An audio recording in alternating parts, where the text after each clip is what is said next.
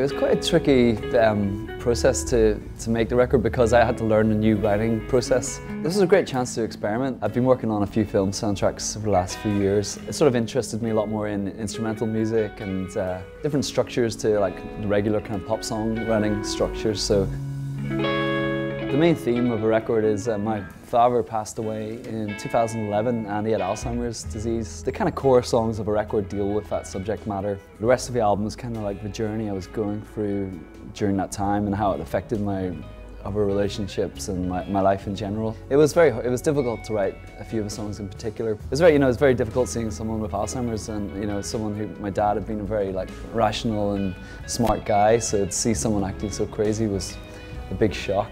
Through the songs, I think I was trying to understand what he was going through. I think songwriting is, you know, your subconscious just does come through when you sit down to, you know, write or paint or play guitar, sing.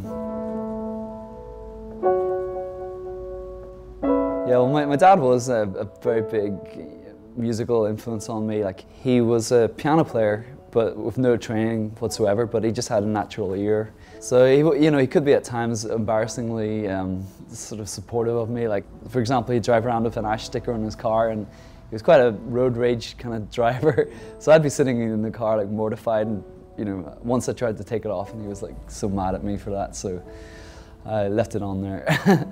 and, uh, you know, he'd go to, to a music store and he'd like move all the Ash CDs to the front of the racks and that kind of stuff. But so, uh, I think he would, you know, he'd like this tribute. Yeah, it was kind of, it was all written over like a couple of year periods. It's been nice to have a little bit of time between finishing it and the release to sort of, it's not quite so raw to talk about, but yeah, it's a very emotional record.